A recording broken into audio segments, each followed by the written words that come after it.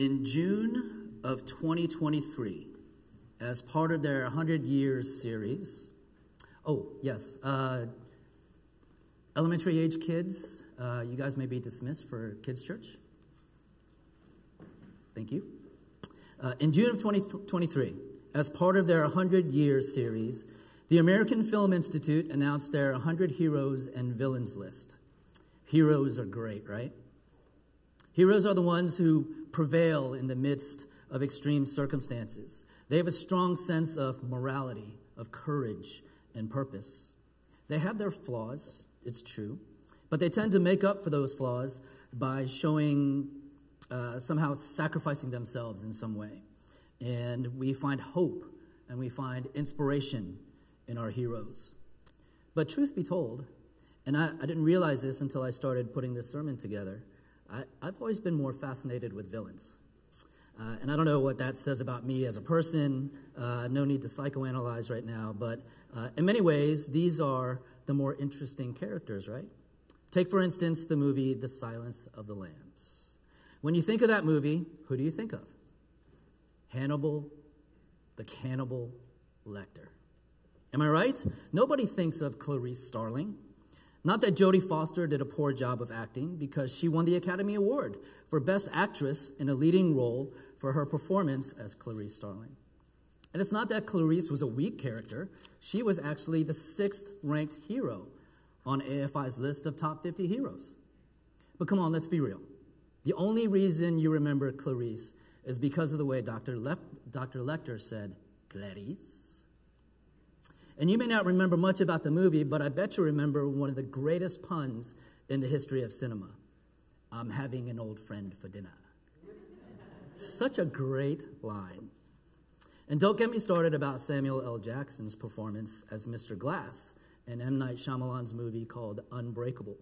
Unbreakable is a part of a trilogy, and according to Medium.com, what this trilogy essentially asks is what if comic books are merely an exaggeration of the truth? What if superheroes and villains existed among us? Now, I'm not big into comic books or graphic novels. Not that there's anything necessarily wrong with them, it's just not my cup of tea. But the question of the existence of superheroes and villains, that's an intriguing one. And I say this because as Christians, we can think of our own worldview in terms of a story that can be summarized in four words. The first word is creation. In the beginning, God created the heavens and the earth. The second word is fall. Having been tempted by the devil, Adam disobeys God and sin enters the world, tarnishing and tainting all of God's creation. Humanity, the greatest of God's creative work, is now marred by sin. Not only do we sin, but we now have a sin nature, and so we are separated. We are at odds in rebellion toward and guilty before God.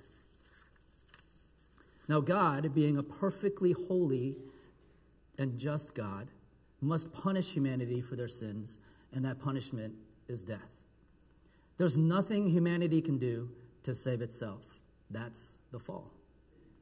The third word is redemption. Here, God shows his love for us in that while we were still sinners, he sends his one and only Son to live the perfect life we could not live, to die the death we should have died. He sacrificed himself for us. God accepted that sacrifice, and Jesus was raised back to life. And for those who believe and place their trust in Jesus for their salvation, Jesus takes away their sin and guilt and replaces that with his righteousness. He takes away the wrath of God and turns it into God's favor. We are no longer separated from God. We now have peace with him, and we have been reconciled to him. We are no longer slaves to sin, but we have been bought with a price, paid by Jesus, so that we have freedom in Christ. That is redemption. And the fourth word is consummation. Jesus came to this earth once, and Jesus will come to this earth again. And when he does, he will make all things new. He will establish a new heaven and a new earth. He will wipe away every tear from our eyes, and death shall be no more.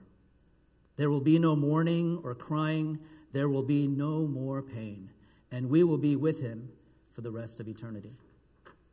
In four words, that's our view of the world. That's our story of reality. And within that story, we see a very real hero, Jesus. And by way of the Trinity, God Himself is the hero. But we also see a very real villain. In your Bibles, turn to Ephesians chapter 6. We'll start reading in verse 10. Ephesians 6, verse 10.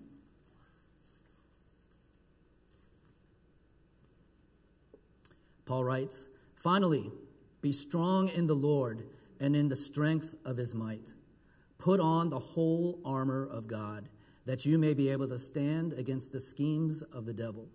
For we do not wrestle against flesh and blood, but against the rulers, against the authorities, against the cosmic powers over this present darkness, against the spiritual forces of evil in the heavenly places. Therefore, take up the whole armor of God, that you may be able to withstand in the evil day, and having done all, to stand firm. What or who is the greatest enemy of humanity? Some say fear, others say time, still others, infectious disease. The most interesting answer I found was mosquitoes. And maybe this is tied to infectious disease, but apparently there are more deaths attributed to mosquito bites and the diseases uh, that the mosquitoes carry than any other kind of death worldwide. So, mosquitoes are humanity's worst enemy. Friedrich Nietzsche says that the self is our worst enemy.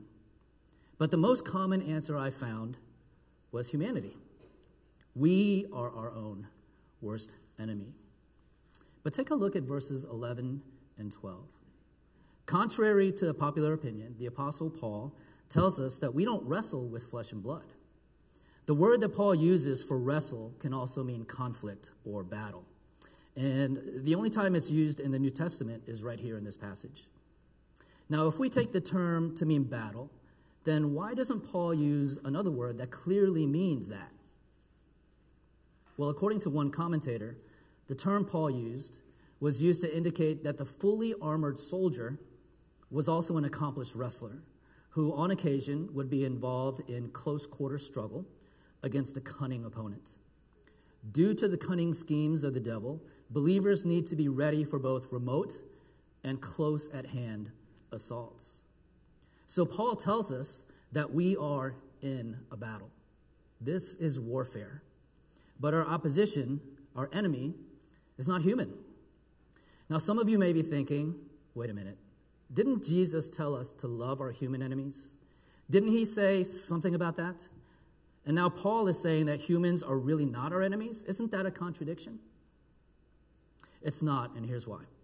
Beyond our human enemies, beyond our human enemies, are spiritual enemies. In other words, while we are called to love our flesh and blood enemies, in a greater way, in a more ultimate sense, our enemy is spiritual.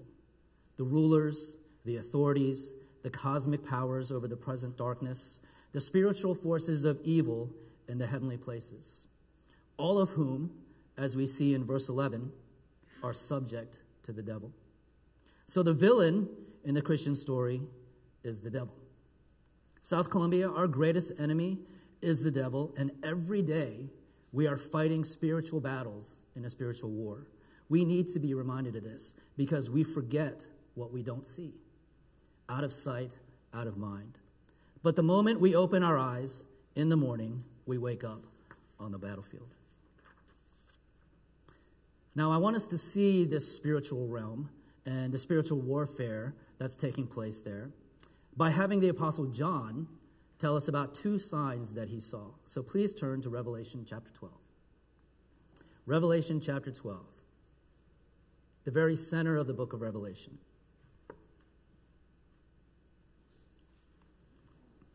Now, I'm hoping this will help us to see the bigger picture, the view from atop the trees, so that we can fight the good fight on the ground. Revelation chapter 12, starting in verse 1, and this is a fascinating read. And a great sign appeared in heaven a woman clothed with the sun, with the moon under her feet, and on her head a crown of 12 stars.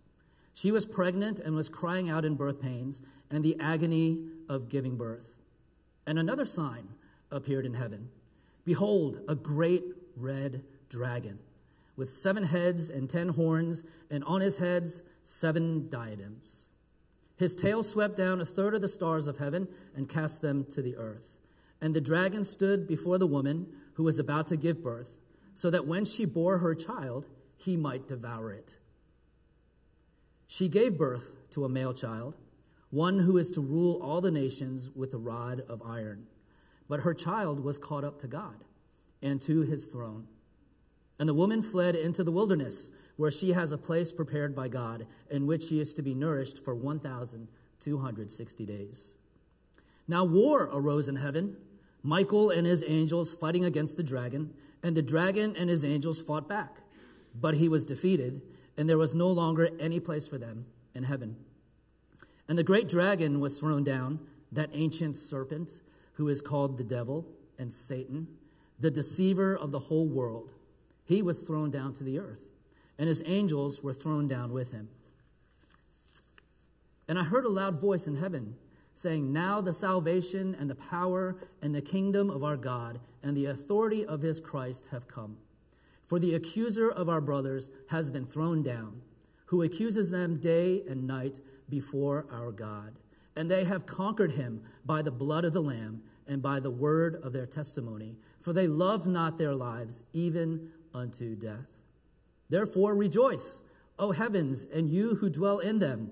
But woe to you, O earth, and see, for the devil has come down to you in great wrath, because he knows that his time is short. And when the dragon saw that he had been thrown down to the earth, he pursued the woman who had given birth to the male child. But the woman was given the two wings of the great eagle, so that she might fly from the serpent into the wilderness to the place where she is to be nourished for a time and times and half a time. The serpent poured water like a river out of his mouth after the woman to sweep her away with a flood. But the earth came to the help of the woman, and the earth opened its mouth and swallowed the river that the dragon had poured from his mouth. Then the dragon became furious with the woman and went off to make war on the rest of her offspring and those who keep the commandments of God and hold to the testimony of Jesus and he stood on the sand of the sea. That is an amazing passage. So, what should we know about Revelation? Now, before we delve into this passage, there are some things that we should know about the book of Revelation. First, we should know that Revelation consists of several different types of writings, one of which is apocalyptic. An apocalyptic writing is usually characterized uh, as having a lot of symbolism. Second, it's usually written to give those, uh, to give hope to those who are being persecuted or under the threat of persecution. Third, there are also many references to the Old Testament. With all that in mind, let's unpack this passage by first identifying who the dragon, the child, and the woman are. Let's start with the easy ones. John tells us in verse 3 that the dragon is a great red dragon with seven heads, ten horns, and on his heads seven diadems. Now that's a picture. The dragon is drawn from Old Testament imagery of evil kingdoms who are enemies of Israel. So from Psalm 74 14, the dragon is Egypt. In Isaiah 27 1, he is Assyria and Babylon. But the dragon isn't just a metaphor for an evil kingdom, but for the devil himself, who is the one behind these kingdoms. As one commentator put it, against this background, the dragon of John's vision would immediately be understood as the arch enemy of God and his people. In other words, the dragon is the devil. The color red symbolizes the murderous and oppressive character of the dragon. The numbers 7 and 10 symbolize completeness. So the 10 horns speak to the great oppressive power that the dragon has. And the seven heads refers to its worldwide effect. The seven diadems or crowns on his heads represents his own claims to victory, sovereignty, or authority, which is in direct opposition to the true King of Kings and Lord of Lords, who also wears many diadems. To sum up, this dragon is a murderer who has a worldwide reach, is great in power, and fancies himself the victor. Then in verse 9, John tells us directly who this dragon is the ancient serpent who is called the devil and Satan, the deceiver of the whole world. Ancient serpent identifies the devil as a serpent in the Garden of Eden. The name Satan means adversary or the prosecutor who accuses people before God in the heavenly court. And we see this most clearly in the book of Job, where in chapter 1, Satan accuses Job of honoring God for his own personal advantage. And then John identifies the dragon as the deceiver of the whole world. And so, what we see here is that two of the devil's most used tools are that of accusation and deception. The devil is an accuser and he's deceptive. So, the dragon is Satan. We'll get to the woman in just a little bit, but we find in verse 5 that she gives birth to a male child. The description that John provides that this child is to rule all the nations with a rod of iron, but her child was caught up to God and to his throne, is Jesus. This is a pre- uh, reference to Psalm 2. Uh, starting in verse 7, the psalmist writes, I will tell of the decree. The Lord said to me, You are my son. Today I have begotten you. Ask of me, and I will make your nations your heritage, and the ends of the earth your possession. You shall break them with a rod of iron, and dash them in pieces like a potter's vessel. Now, this is a messianic prophecy that Jesus fulfills. This is how we know that verse 5 is referring to Jesus. So we've established that the dragon is the devil and the male child is Jesus Christ. Now we've come to the woman. When we read that the woman gave birth to a male child who happens to be Jesus, we immediately think of Mary. And there is a sense in which Mary is being pictured here. However, I think we can argue from Scripture that who John had in mind here is not primarily Mary, but rather the whole people of God. Here's what I mean. In chapter 12, verse 1, John sees a great sign a woman clothed with the sun, with the moon under her feet, and on her head a crown of 12 stars. The sun, the moon, and the 12 stars is a reference back to Genesis 37 9, which is about Joseph's dream. Then he dreamed another dream and told it to his brothers and said, Behold, I have dreamed another dream. Behold, the sun, the moon, and 11 stars were bowing down to me. But when he told it to his father and to his brothers, his father rebuked him and said to him, What is this dream that you have dreamed? Shall I and your mother and your brothers indeed come to bow ourselves to the ground before you? And his brothers were jealous of him, but his father kept the saying in mind. So the sun represents Jacob the moon his wife, and the 12 stars would be the 12 tribes of Israel. These are symbols representing the people of God. Furthermore, the number 12, all throughout Revelation, symbolize the people of God. You have the 12 tribes of Israel, you have the 12 apostles. So, what we have here is that the woman who is giving birth is a symbol of God's people in both the Old Testament and the New Testament. Okay, Jim, I get the sun, the moon, and the stars represent the Old Testament people of God. But how do you get that she symbolizes the New Testament people of God also? Take a look at verse 17. It says, Then the dragon became furious with the woman and went off to make war on the rest of her offspring, on those who keep the commandments of God and hold to the testimony of Jesus. Her offspring include those who hold to the testimony of Jesus. And so we get from that that the woman symbolizes not only the Old Testament people of God, but the church also. And by the way, this is, this is a, another reason why the woman is probably not Mary, because then the devil would be making war with Mary's literal offspring, Jesus' siblings, which doesn't make much sense. It makes much more sense to understand the woman and her offspring as God's people. So the people of God are pregnant and are about to give birth to a Messiah. Does that make sense? Well, as a matter of fact, the Old Testament speaks to this. In Isaiah 66, starting at verse 7, uh, it says, Before she was in labor, she gave birth. Before her pain came upon her, she delivered a son Who has heard such a thing? Who has seen such things? Shall a land be born in one day? Shall a nation be brought forth in one moment? For as soon as Zion was in labor, she brought forth her children. So you have Zion, or God's people, collectively giving birth. Again in Jeremiah 4, uh, verse 31, it says, For I heard a cry as of a woman in labor, anguish as of one giving birth to her first child, the cry of the daughter of Zion gasping for breath, stretching out her hands. Woe is me, I'm fainting before murderers. Here again, Zion, the people of God, are depicted as giving birth. And so we see that the dragon is the devil, the male child is Jesus Christ, and the woman is God's people.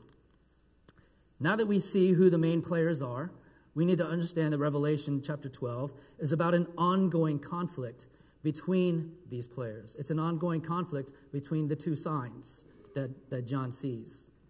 The devil rages against Jesus Christ and rages against the people of God. And so in this passage, what happens in verses 1 through 6 is just told again in the rest of the chapter, but in greater detail. Now, we won't be able to go into every nook and cranny of this passage, but there are a few things that I want to point out. The first point I want to make is that the devil rages against the Messiah. Take a look at verse 4. His tail swept down a third of the stars of heaven and cast them to the earth. And the dragon stood before the woman who was about to give birth, so that when she bore her child, he might devour it. Now, this refers to all the ways in which the devil tried to tempt and kill Jesus throughout his earthly life. Here, we should think of King Herod and how he tried to kill Jesus as a child. Think of how Satan tempted Jesus in the wilderness. And ultimately, think of the crucifixion of Jesus. The devil rages against the Messiah. And it's here at the cross that it seems as Satan had finally succeeded. Now, I don't know if this is a legend or if this is a true story. But the story goes that there was a, a, a chess grandmaster, and he was traveling and he went to Paris and was at the Louvre, uh, and he saw uh, a painting. And um, uh, there are other paintings there, like the Mona Lisa and that sort of thing, but this one particular painting really caught his attention. And remember, he's a grandmaster chess player. So in the painting, you have the devil on one side playing chess against a young boy. And the devil, uh, you could see the arrogance in him. You could see that he was winning and that he knew he was going to win. And you could see the sweat on the boy on the other side. And I think, as the legend goes, that they were playing for the soul of the boy. And so that's why he's uh, in such turmoil. And so the chess grandmaster looks up and he stares at this painting. And he stares for a long time. And then what he does is he asks, he asks somebody to bring him uh, a chess set. And he sets up the chess set just like it is in the painting. And he looks at the painting and he looks at the chess set. And he looks at the painting and he looks at the chess set. And what he realizes is that according to the arrangement of the pieces left on the chessboard, the king had one more move. This fateful move would make him the winner of the game. And it turns out that the painting is called checkmate. So you think that the devil has checkmated the other player, but it turns out to be the other way around. And so it is with Jesus. We think that the cross symbolizes or shows the defeat of Jesus. But it's the resurrection of Jesus that proved otherwise.